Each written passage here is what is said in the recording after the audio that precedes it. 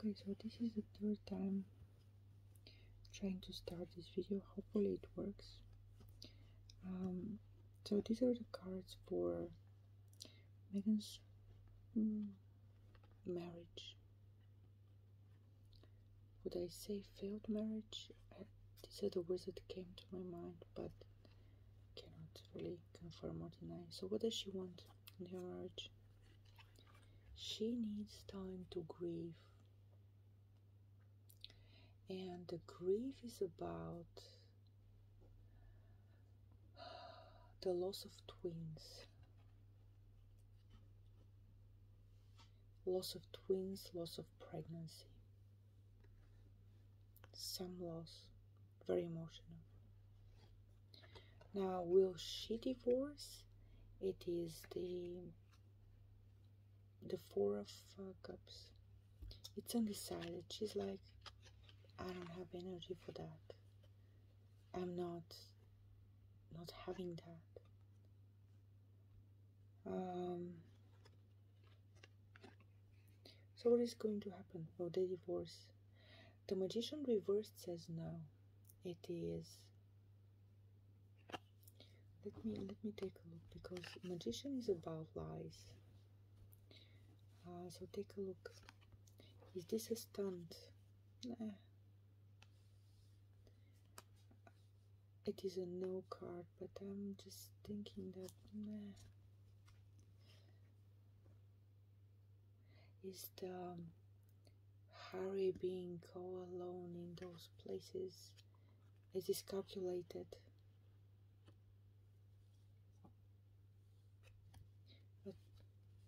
For what reason? Why would you do it? Ah, oh, Jesus Christ. Now it makes so much sense. Now, see, I'm gonna tell you something about those two. They are recreating a fantasy. If they are creating avatars for themselves something that they are claiming to be like a public image we all have that so it's no you know everybody has this public image and then private image and then this secret image but in this case they are all smoke and mirrors. So if you see headlines that poor Harry, he's you know staying all alone in those places, they are to provoke your emotions. They are to make you feel like you are you know they're just like us. They're down to earth. They have those normal couple issues. Um, could be that those issues are because of uh, a failed pregnancy. I really think that this is the case.